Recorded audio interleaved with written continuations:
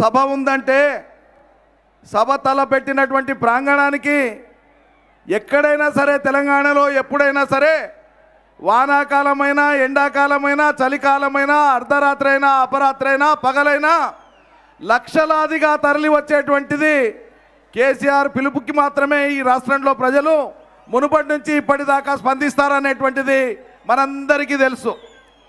నిన్న కాంగ్రెస్ వాళ్ళు పెట్టుకున్నటువంటి సభలు ప్రజలు చౌరస్తాల కాడ మిర్చీలు తిననికే ఛాయలు తాగనికే బీడీలు తాగనికే ఆగిన ప్రజల దగ్గరికి పోయి అక్కడ మీటింగులు పెట్టుకొని ఉపన్యాసాలు చెప్పుకునేటువంటి దుర్గతి రోడ్ షోల పేరు మీద.